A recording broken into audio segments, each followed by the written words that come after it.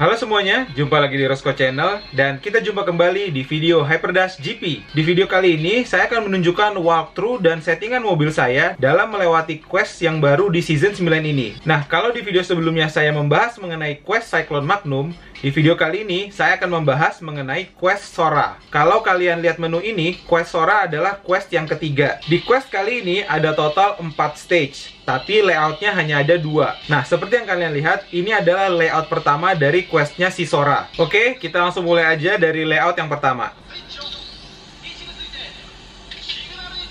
Ready? Go! Oke, race kita mulai. Kali ini saya menggunakan body 3 Dagger X. Jadi keunggulan dari body 3 Dagger X ini adalah dia dapat meredam benturan pada saat mendarat. Jadi kestabilannya tinggi.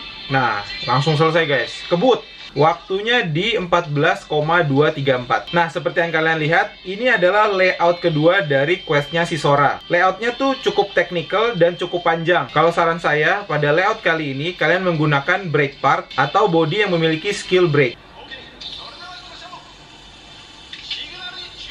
Ready? Go!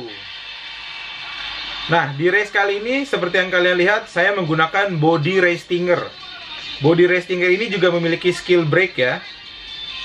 Oke, ini sudah di lap kedua.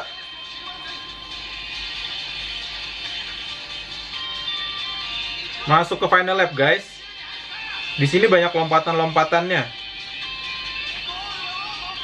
Mendekati finish, goal.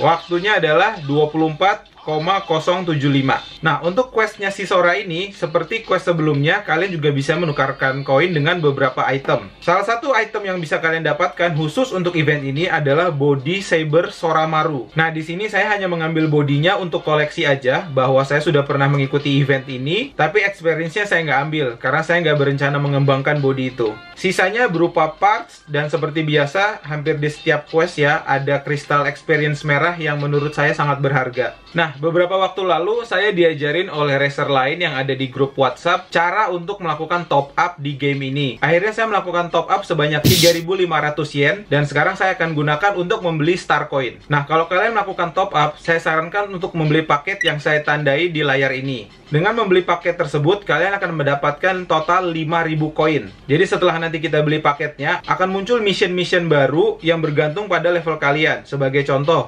misalnya kalian sudah mencapai level 25, maka kalian akan mendapat 400 koin.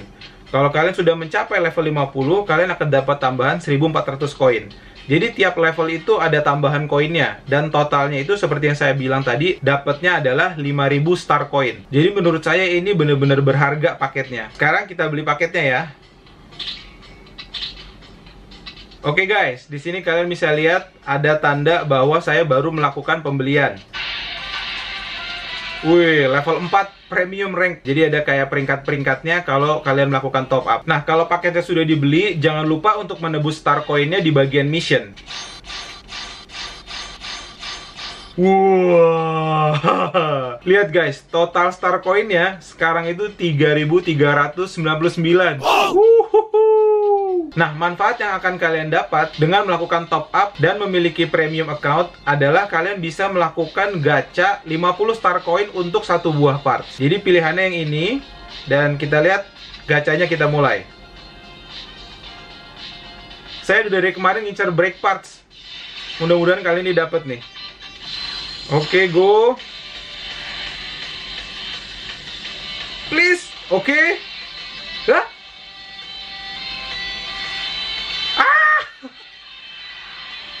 Ini nggak dapat, ini udah pasti deh. Nggak ada pelangi-pelanginya gitu.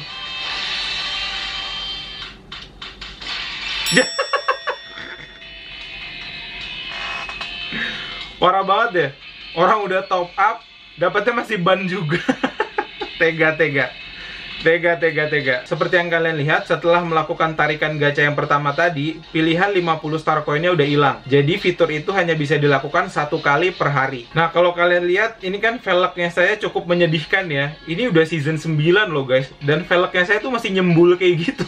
Sekarang kita akan coba gacha tiket gold. Mudah-mudahan saya dapat velg yang lebih ganteng supaya nggak nyembul lagi.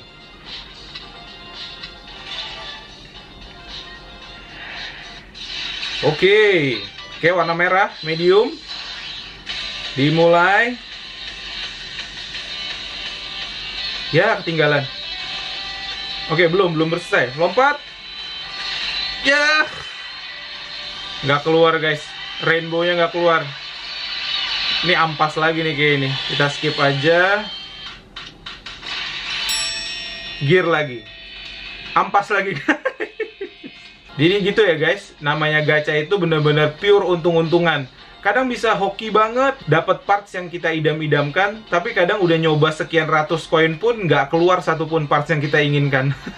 dapatnya ampas semua. Oh ya, ada satu lagi hal yang belum saya sampaikan. Nah, apabila kalian sudah melakukan top up dan memiliki premium account, kalian akan ketambahan beberapa tools yang dapat meningkatkan keberhasilan modifikasi parts kalian. Jadi, kalian akan dapat tambahan tools pertama obeng, kemudian dapat nipper, kemudian dapat Yasuri atau Kikir. Oke, saya rasa sekian untuk video kali ini. Jangan lupa klik like bila kalian suka dengan video ini. Klik dislike aja bila nggak suka. Jangan lupa subscribe dan sampai jumpa di video berikutnya. Dadah!